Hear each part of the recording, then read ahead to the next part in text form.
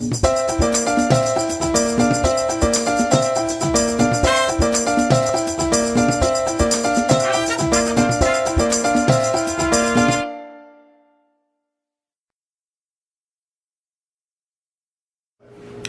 right, we're back with the first grade critical areas. And to continue the conversation, we're going to talk about properties. In first grade, it is named as a critical area that students know both the commutative and associative property. Now, they don't have to know the names, but they have to understand the concept. So, here's just an example of that. You can have kids roll a dice and then write the um, expression down and then write the turnaround fact for that and illustrate it so that they can see what it looks like. So, they have to know commutative property and they also have to know associative property. So you want them to be able to do the same thing. They throw the dice, they throw three dice, they write down the dice in three different colors, and then they draw it out so they can see it doesn't matter, that the order doesn't matter, that the total is still the same. So here's these are just two ideas to teach the commutative and the associative property. The next big idea that kids are supposed to really understand is place value. That's a critical area in first grade. So you want to start them out by doing things where they take two different colors and they write numbers out. And then they have to um, use the carrots to show that 15 is 10 and 5. Actually, they start doing this in kindergarten, or they should start doing this as one of the models in kindergarten. And then they, you know, illustrate a 10 and a 5. And then you want kids to start doing games where I usually give them um, double die and they roll the double die. And so I got a four and a two. You might say outside numbers the 10, inside numbers the ones. And then what kids have to do is they have to show that. So they show 42 and then they carried it out. This is 40 and this is 2, right? Um, 42 is 40 and 2. And then sometimes I make kids write the, the uh, word because number writing number words is part of place value.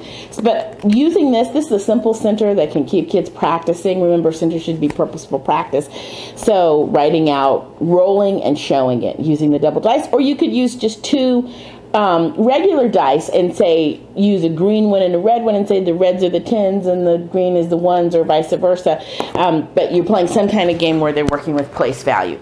Now the Common Core specifically says that children will develop, discuss, and use efficient, accurate, and generalizable methods to add within 100 and subtract multiples of 10. This is first grade we're talking about. First grade, right? So adding through 100. So you're going to show um, kids things like this and they don't have they have to regroup but only double digit by single digit. And they're really regrouping um, using some of those strategies that they learned as part of their um, basic facts. So you show the kids 39 plus 5 they should rely on lucky 9 right 39 turn it into a 40 plus 4 you get 44 or say you see 27 plus 7 use partial sums. You have 7 plus 7 which is 14 and plus 20 right? 20 plus 14 is 34 you want your kids to be able to add like that with those single digit and double digits. Also you want them to use the number grids. These are number grids that I bought that are just um, I love these number grids because they're already um, wipe on, wipe off. Um, laminated or you can laminate them you know. You can get some really cheap laminators on like amazon.com and then they do things like you say okay i want you to add 46 and 5 they circle 46 and then go 1 2 3 4 5 and they say it's 51 or 46 and tw- uh, you know 46 and 9 they go they could go 46 and 10 would be 56 and go back 1 would be 55 right? So you want your kids to use number grids um, to start adding those double digit with single digit numbers. Okay. And then also one of the critical areas is that kids can compare numbers. So you want them rolling two numbers and then being able to compare with the symbols and drawing it out. So I drew 34 and 30 and then I circled 30, 34 because it's greater than 30. What I would have kids do actually is I would have them write the word so they can begin to associate that word that they can use that language. Remember precision is the sixth mathematical practice. Really important that kids use math language. We don't want them just to say 34 is bigger than 30. We want them to say it's greater than 30. We want them to use their math words. Okay, um, here's another example, and this is what I've been talking about. I just took a sheet protector, decorated it with some duct tape, and voila, I have this kind of fancy, engaging wipe on wipe off mat and I can stick things in there and and I'm not using up so much paper. But here the kids rolled a number. They had to show it in base 10 they had to write the number word and they had to write it in expanded form. Remember in first grade that they're just working with tens and ones okay? All right, so place value is huge in first grade. There's also these really cool um, place value dice, and I got these at Lakeshore, but you just roll and it tells you how many tens and how many ones. And so they come in different colors. And so this is eight tens and four ones. And then what I would have the kids do is I would have the kids actually draw that out. So they'd have 84 and they'd have 80 plus four and they would draw out eight tens and four ones. And so it would look like that. Okay. Um, so I like the place value dice. Like I said, I use them a lot just as one of the centers.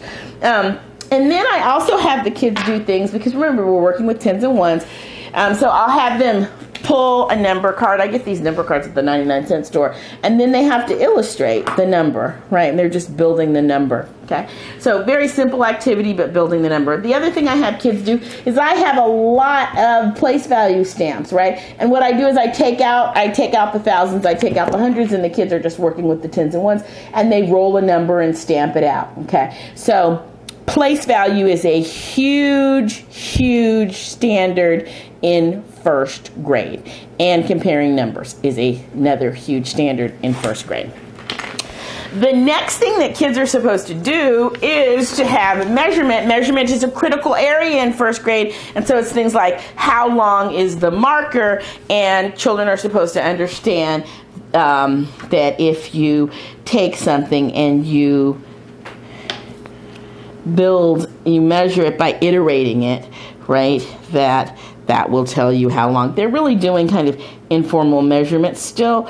In fir- in second grade, they really start working with both systems, metric and customary. But in first grade, they're really just looking at this concept of linear measurement and measuring lengths as iterating length units. So you want to do a lot of things with that. Those are mosaics. You could just as well use uh, Unifix cubes or Snap cubes. But this idea that you know that you take an object and you keep repeating it over and over to see how long something is. You just set up a cinder where they do different things. They might use paper clips, they might use mosaics, they might use Unifix cubes.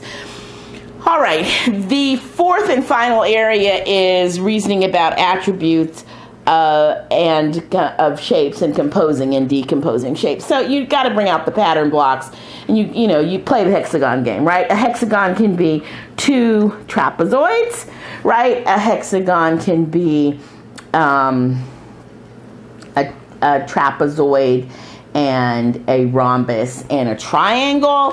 A hexagon could be um, three triangle, four triangles and a rhombus. So lots of different ways to make hexagons. Um, and that's, you know, you want kids composing and decomposing lots of different shapes with the pattern blocks. Really important. It is a critical area in first grade. Geometry, again, remember, is the only domain that is a critical area in every grade. All right.